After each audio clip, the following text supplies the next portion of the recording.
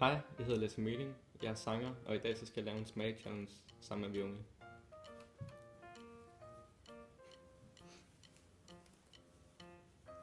Oh, der blev meget sort. Jeg kan ikke se noget i hvert fald.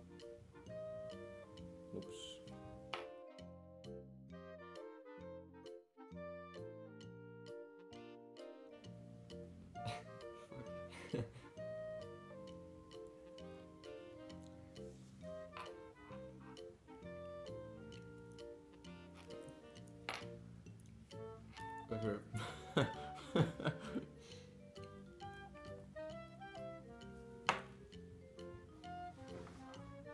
Jeg kan allerede sige nu, at det er peanut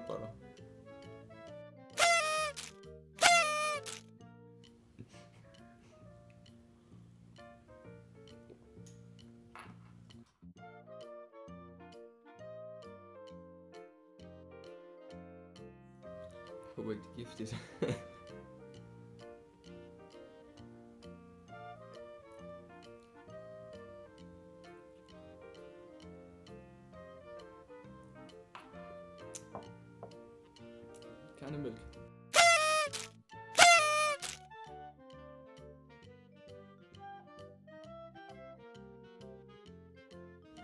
Shit.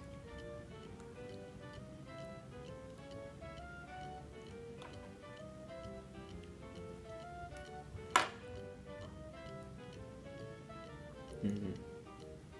Vaniljepudding. Eller sådan noget.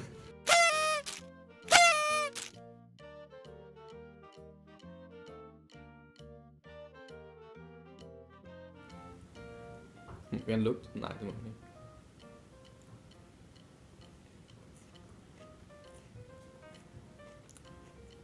Åh, det er stærkt. Uh.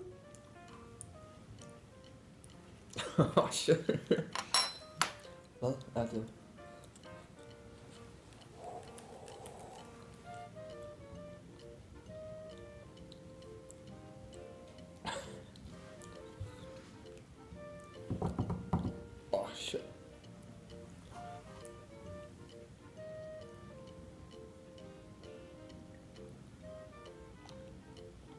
Puh, ja. Var det ingefær?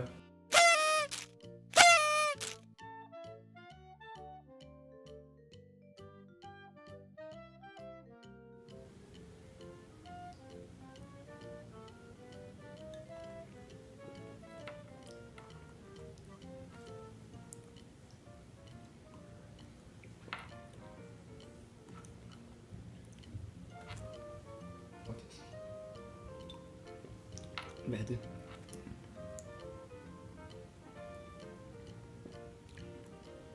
Er det tyrkisk sodavand? Er det cherry coke? Det smager overhovedet ikke sådan. Jeg plejer at købe sådan tyrkisk sodavand, når jeg spiser kebab. Det smager fuldstændig som det. Lige nu i hvert fald.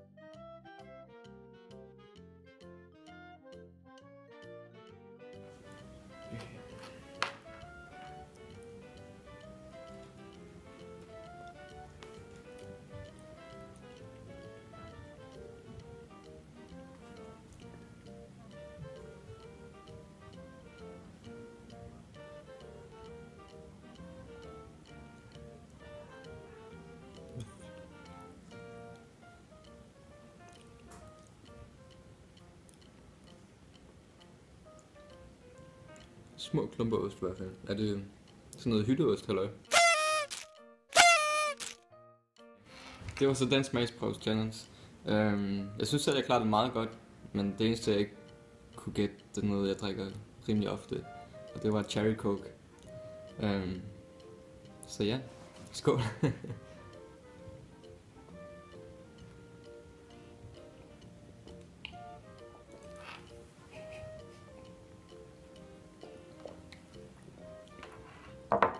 det lød måske ikke så lækkert.